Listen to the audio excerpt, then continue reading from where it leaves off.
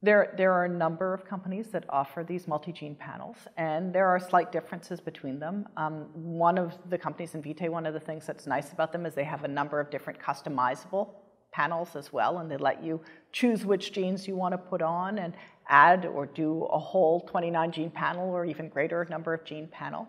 Um, and often what I find particularly useful is to, if you have a family where you think BRCA1 and BRCA2 is, is the likeliest thing, to first of all get BRCA1 and BRCA2, um, and if that's negative, to think about adding genes or just focusing on the higher penetrance genes. So six genes, or maybe you're also thinking that this might be a Lynch syndrome family, so throw in the Lynch genes. And, and it's the customizability of, of some of the panels. And Invitae is one of the companies that has a, a really nicely customizable panel. There, there are other companies, obviously, that, that offer those types of things as well. Um, and it, it is you know, very helpful to be able to adjust things based on, on the characteristics of, of the family history and the patient's individual uh, personal history. The important thing about genetic testing as we enter an era when there's going to be a lot more genetic testing is that there isn't one test that covers everybody under every circumstance that you're always going to reach for, any more than in most things in medicine, there's one test that everybody needs or gets. So when we talk about managing patients with our genetics counselors and our specialists in hereditary breast cancer, the first thing we want to think about is what exactly are we looking for? If you're talking to a patient whose mother had BRCA1 and she wants to know what her risk of hereditary cancer is, all you have to do is a narrow window test for BRCA1, and if it's negative, you have the information you need. Then there are other families where there might be different clusters of genes, and again, you can tailor the evaluation for them based on the family history, the kinds of cancers that are arising in that family, and what other genetic information is already known. More and more, uh, as more women get tested, there is circulating information in the family record, in the chart, about where these mutations might be, uh, and that can obviously guide it. Now, there are still situations where you simply don't know, but you think there is a strong family history of uh, cancer, and, but you don't know where the mutation uh, lies. And in those instances, we're going to be doing these multi-gene panels. They typically have about two dozen genes on them. There are several commercially available ones. And different health plans cover different insurances. Um, different uh, genetics teams have better working relationships with one product line than with another, such that they get faster turnaround on them. The technical quality for most of these seems to be actually very similar. And so what mostly matters is to make sure that you have access to high quality testing, that the team can work quickly with the genetics company to get the information back, and that the information is delivered in a way that everybody understands the technical details about what's being reported upon and what isn't.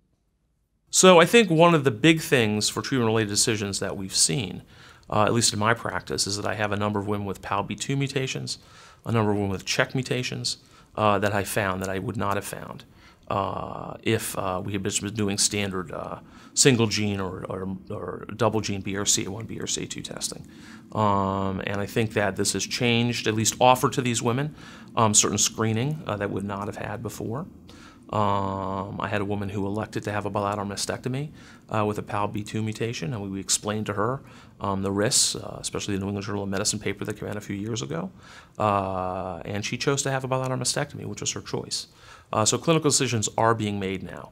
Uh, with these multi-gene panels. Uh, and again, I think that if we're going to make a clinical decision with these panels, we need to be as sure as we can be that the mutation is actually something that's pathogenetic uh, and is potentially actionable.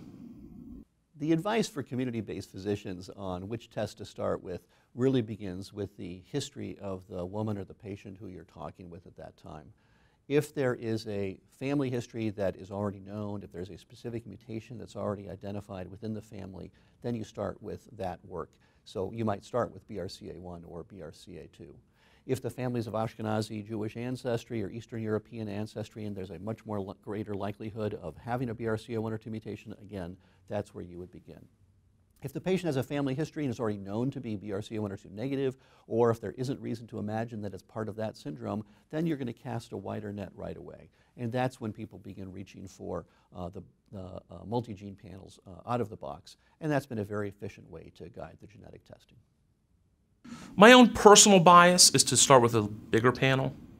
um, because again, you can get you never know what's going to happen five years from now, and at least you have the genetic data there. I mean, the data is the data. Once you do a genetic panel on somebody, especially in the germline, it doesn't change. And um, you have that data when new information comes out, you can always go back to that. And of course, you want to deal with a company that stores the data uh, and then will also kind of potentially contact you or you can contact them uh, when new variants and new mutations uh, are discovered. Um, I think my advice to community oncologists uh, is to not use these willy nilly. These are very powerful tools. Um, I think that uh, if possible, uh, either through uh, a virtual consult or a direct consult, uh, use these uh, with someone with genetics expertise, especially in trying to interpret the variants of unknown significance. I think that that's very, very important. We don't want to um, make a clinical decision uh, based on a variant uh, that we really don't know uh, causes disease. I mean, and we just don't know. There's a lot that's unknown uh, with these tests. And I think that, again, my advice to community oncologists is uh, the data is the data, and more data is always better than less most of the time. But uh, if you don't have the expertise, the really uh, to interpret the actual mutations, it's very, very important to try uh, to get either a virtual consult or an actual consult uh, with either a genetic counselor or someone who understands the genetics. Um, and those are always available. I mean, I think that if they can't consult in person, I think most you know organizations uh, have people that are available to discuss these mutations with. So there are many support services for physicians and for patients, uh, both from uh, the actual companies that um, provide the testing, uh, as well as national organizations. Um, ASCO uh, has a variety of resources online, both for patients and physicians. The American Society for Human Genetics has a lot of web-based resources, both for physicians and for patients. Um, but I wouldn't discount your local or your regional um, uh, academic uh, oncology facility. Uh, most places in the country uh, do have a comprehensive cancer center that's fairly close by. The vast majority of these comprehensive cancer centers do have genetics expertise uh, that could be available for you. Um, a lot of the bigger practices, even uh, bigger non-comprehensive cancer centers um, around the country, do have resources. But again, I think it's very important, both for the patient and the physician, uh, to, um, if they don't have the expertise in trying to analyze some of these variants, uh, to really involve these resources early on uh, in the decision.